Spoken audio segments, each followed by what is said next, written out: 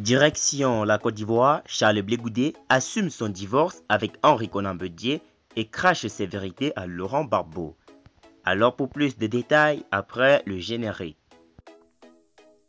Avant de commencer, n'oubliez pas de vous abonner et d'activer la cloche de notification car cela va vous permettre de ne plus manquer les prochaines vidéos.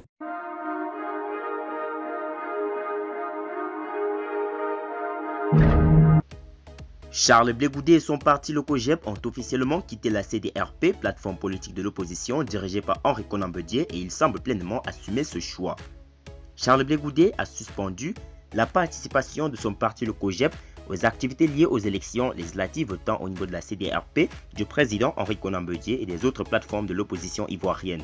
Ce choix, perçu comme un acte de trahison envers les deux ténors de l'opposition politique ivoirienne que sont Henri Conan et Laurent Gbagbo, a tout de suite suscité une vive polémique sur les réseaux sociaux au point de nécessiter une mise au point de l'ex-chef de la galaxie patriotique. Quitter une plateforme ne signifie pas qu'on n'est plus opposant, a asséné Charles Blégoudet sur sa page Facebook.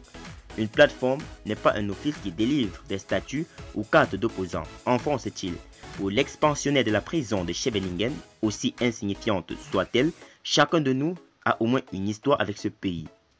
Lundi, le COGEP dénonçait la guerre de positionnement et la logique de domination qui ont guidé les discussions visant la mise en place d'une stratégie commune de l'opposition en vue des prochaines élections législatives. Les objectifs que nourrissaient les partis et organisations membres de la coalition citoyenne La Voix du Peuple en s'engageant aux côtés des autres plateformes de l'opposition n'ont été qu'une désillusion amère. C'est offusqué le parti de Blégoudé, estimant qu'on ne peut pas combattre une dictature à la tête de l'État avec une dictature interne et un esprit de domination.